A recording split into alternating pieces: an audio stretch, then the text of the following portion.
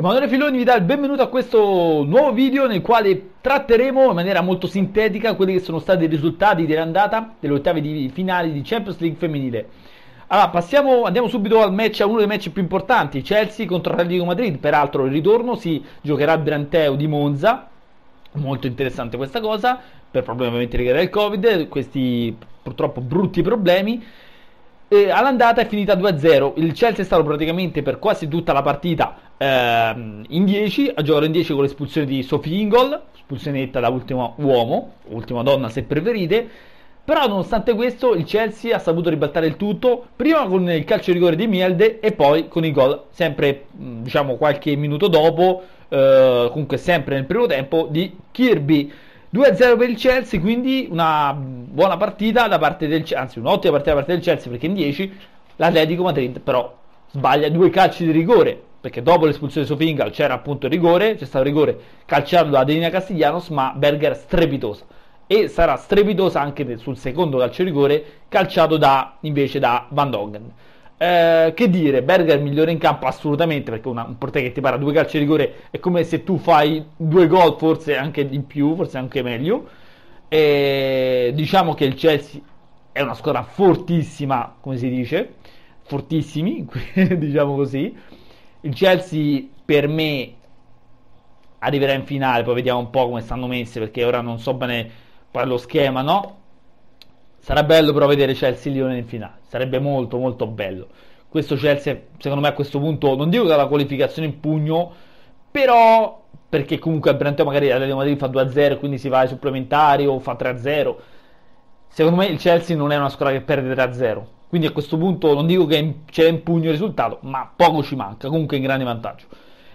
Poi abbiamo avuto la sconfitta in casa del Kazigurt contro il Bayern Monaco per 6-1, il gol di Kundanashi, non so come si pronuncia sinceramente, poi Benestein da, da parte del Bayern Monaco c'è stata la doppietta di Linda Dalman, Glass, eh, Vivian Snottir, eh, Berestein e Lia Schuller per appunto la squadra tedesca, quindi che vince fuori casa 6-1.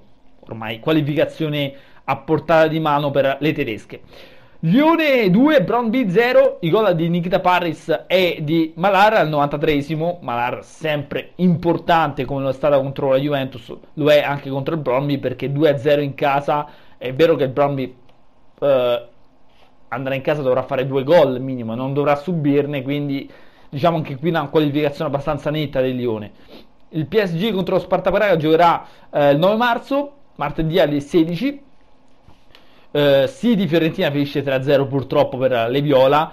I primi due gol al secondo e al quarto minuto, minuto di Emp e di White, di White e poi eh, Sam Lewis a diciamo, incoronare una prestazione sicuramente molto molto positiva del City contro una Fiorentina che ha fatto 0 tiri in porta e un tiro fuori da grande eh, posizione, da buonissima posizione da parte di Togersen.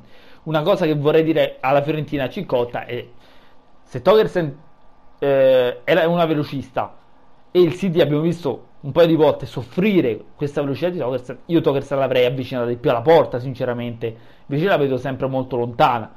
Eh, però la Fiorentina non ha frecce alla prova faretra, si vede una squadra senza anima perché è una squadra senza frecce, senza, uh, senza munizioni senza possibilità di giocare in un certo modo perché se gioca in un certo modo non va bene, se gioca in un altro non va bene perché, perché non ha tante frecce alla prova faretra. Quindi io direi a 50 di inventarsi qualcos'altro. È chiaro che le giocatrici non sono cioè eh, Baldi è giovanissima, Zanoli è giovanissima, altre non si sono ancora secondo me ambientate benissimo, ci sono state parecchie gestioni come quella di Tatiana Bonetti a inizio anno di Ale Guagni e, ehm, e di, di Ilaria Mauro che sono stati solamente importanti. Detto questo, però, ehm, la Fiorentina è la Fiorentina, dovrebbe fare molto di più. Colpa dell'allenatore, forse ci può stare, sì, sicuramente Cincotta di più può fare, però al tempo stesso è chiaro che la società è un po' responsabile del tutto perché poi le giocatrici le prende la società e quindi possiamo parlare dell'allenatore certamente non sta facendo bene quello sicuro. Possiamo parlare delle calciatrici ma poi ragazzi è la società che c'è dietro. Se la società prende giocatrici di un certo talento di un certo calibro le cose migliorano. Lisa Devan l'anno scorso è una giocatrice che in queste partite avrebbe fatto comodissimo perché ti dà una profondità importante, è bravissima nell'uno contro uno, alla Fiorentina manca. E infatti l'unica che è andata vicino al gol è stata proprio Togerson, bravissima nell'uno contro uno. Abbiamo visto con Lione, eh, la Juventus ha delle giocatrici brave nell'uno contro uno, però poi si vede quel limite. Il Lione è una squadra molto più esperta, fortissima, ma nell'uno contro uno ha giocatrici molto più forti. E si è visto, si è visto questa differenza importantissima, avere giocatrici che nell'uno contro uno sono forti ti fa fare la differenza, ti permette di fare quel salto di qualità importante.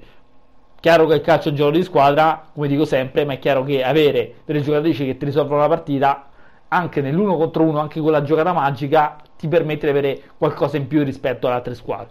E City, Chelsea, Lione sono, sono, e Barcellona che adesso vedremo, sono quattro tra le squadre più forti del mondo, o comunque d'Europa. Quindi City 3, Fiorentina 0. Barcellona 4, Fortuna Junior 0. Il tripletta di Jennifer Hermoso. E poi il quarto gol segnato da Alexia Puteias, che ci mette sempre lo zampino nonostante sia una centrocampista, ragazzi. È una giocatrice pazzesca che io in squadra la vorrei sempre, sempre, sempre. Ma anche Hermoso, ragazzi, ma che giocatrice è anche Jennifer Hermoso, che tecnica, ma di testa ha fatto due gol o tre gol di testa, non vorrei, no, forse due gol di testa, non vorrei errare ma comunque è fortissima di testa, con il piede, non è velocissima, ma è una giocatrice che al posto della velocità magari ha la tecnica. Eh, questo fa la differenza. Wolfsburg uh, Lillstrom 2-0 per le tedesche con il gol di mm, doppietta di Alexandra Boppo, questa è un'altra grande leader, veramente una giocatrice pazzesca, pazzesca anche la nazionale abbiamo visto. Rosengard 2, Polten 2, questo è una, una qualificazione mm, che il Polter aveva probabilmente in tasca perché? Perché stava vincendo con, con la doppietta di Mattia Sver e poi ci sono arrivati i gol di Nielsen di Caroline Seger all'ultimo. Quindi diciamo che Rosengar, tra virgolette, si è salvato, anche se al momento è il Polter in vantaggio perché i gol fuori casa vanno, valgono doppio. Quindi dovesse finire 0-0 la partita del ritorno, il Polter supererebbe il Rosengard, sarebbe un grandissimo risultato. Uh, diciamo che però molte partite in questi ottavi sono segnati, vedere, basta vedere il Barcellona, il City, che difficilmente la Fiorentina fa tre gol e pareggia, il Lione, anche il Lione, anche se poi il Bromby, eh, magari il golletto te lo può fare, può riaprire un po' il tutto, però è il Lione, quindi e anche difficilmente anche l'Atletico, però vediamo un po', il Bayern Monaco sicuramente 6-1 ha vinto fuori casa, quindi è già Insomma, eh, Paris Saint Germain e Spartak Praga credo che il Paris Saint Germain possa vincere agevolmente. E quindi niente, diciamo che dai quarti in poi che le partite diventeranno un po' più difficili da, mm, da valutare da pronosticare.